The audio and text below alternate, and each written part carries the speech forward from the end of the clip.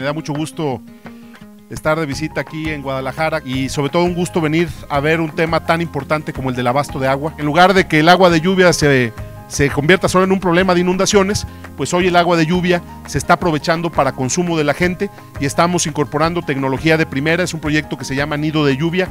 El año pasado le metimos 11 millones de pesos para probarlo, a ver cómo funcionaba y nos dimos cuenta del éxito que fue y hoy lo que estamos haciendo es con el presidente Lemus y con los presidentes de la ciudad ampliando el programa, pasó de 11 millones a 80 millones de inversión este año. Ampliamos la cobertura y pasamos de solo una colonia, Colonia del Carmen, a cuatro colonias en el municipio de Guadalajara. La meta para este año 2022 es instalar 3.950 sistemas de captación de agua de lluvia. Hasta el momento llevamos entre los cuatro municipios donde estamos eh, llevando este programa a 2.000 personas que ya se registraron como interesadas para obtener un nido. Motivar a que más ciudadanos se acerquen con nosotros.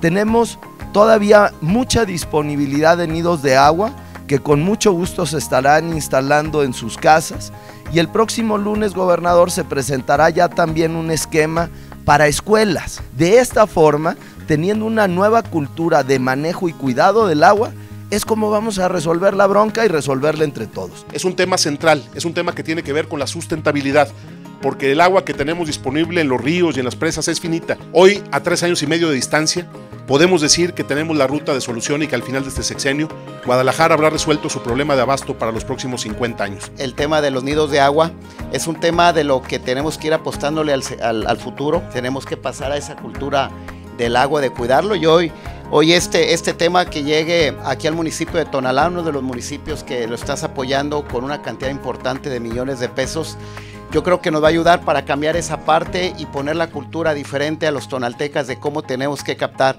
el agua que cae del cielo para poder ahorrar agua y poderlos quitarle muchas broncas a los hijos y a los niños en el futuro. Presidente, nos vamos a extender a las colonias de Arboledas de San Gaspar y a Jalisco tercera sección. Actualmente ya estamos eh, ofreciendo nidos de lluvia en la colonia San Gaspar y también en Jalisco cuarta sección. Cómo funciona el sistema es utilizamos lo que es el techo como una charola de captación de agua.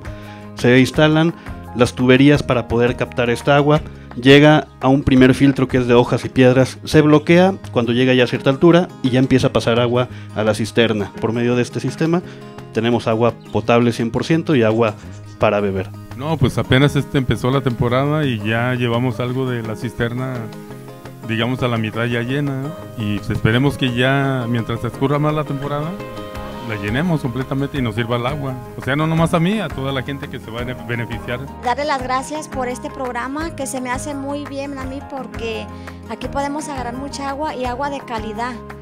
Aparte, este, pues en la sequía no vamos a batallar primero Dios. Muchas gracias y ojalá el programa siga para que mucha gente se beneficie con este programa. Sabemos la responsabilidad que tenemos y entendemos que lo que hagamos ahorita es lo que vamos a dejar en la ciudad en la que vivimos todos. Esta es nuestra casa, aquí vivimos, viven nuestras familias. Y queremos que Guadalajara, como ciudad, como área metropolitana, salga adelante.